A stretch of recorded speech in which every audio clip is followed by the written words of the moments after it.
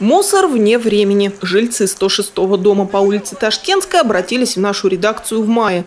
Проблемы начались, когда понемногу стали заселять новостройку напротив. Тогда же между домами появилась контейнерная площадка прямо на дороге. И стали расти горы мусора и строительных материалов, но не в баках, а вокруг. Сначала вроде бы как было тихо-тихо, там потом снег пошел уже ближе к зиме, мы не обращали внимания. Когда все это растаяло, там были, вы понимаете, такой навал был вплоть до самой, до самой крыши. Лично я сама несколько раз звонила. И в администрацию звонила, в департамент, и в управляющую компанию. Позвонишь, поругаешься, приехали, убрали.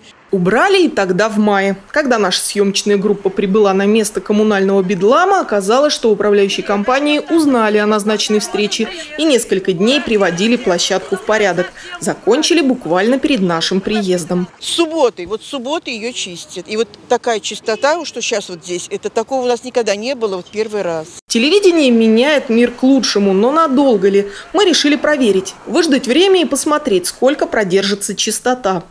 Ждать пришлось недолго, ровно через полтора месяца. Мы на том же месте, но контейнерная площадка выглядит совершенно по-другому. Как раз то, о чем говорили местные жители. Строительный мусор и другие отходы разлетаются по всей округе.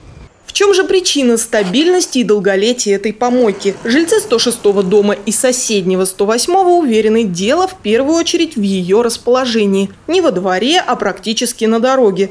Отходы сюда сваливают все, кому не лень, даже бывает привозят. От новостройки баки заботливо огородили забором. Зато жителям соседних пятиэтажек ничто не мешает любоваться живописными видами мусора, благоухающего на солнышке. Постоянно этот мусор весь на дороге, летит сюда, к нашим домам. И вот мы, конечно, хотим, чтобы убрали в другое место. Да. Все-таки здесь и детская площадка, и здесь детская площадка, и мусор этот постоянно. Как сказал группе недовольных дворник, это место для контейнерной площадки утверждено, и оно идеальное. Я 30 лет работаю с контейнерами. Идеальное место, понимаете, идеальное. Ему проще бросить контейнер, а если вы сейчас поставите его туда, они начнут мне ложить это, свои эти бытовые отходы, он к этим, этим курным, понимаете? Он туда не пойдет. Ему проще курну бросить и уйти дальше. Идеально это когда тебе не приходится жить по соседству со зловонной кучей мусора. Просьбу жителей мы адресуем компетентным службам. Эксперимент продолжится. Посмотрим, поможет ли административный ресурс победить вечную свалку. Наталья Гутарина, Михаил Кенгуров, Денис Денисов, РТВ Иванова.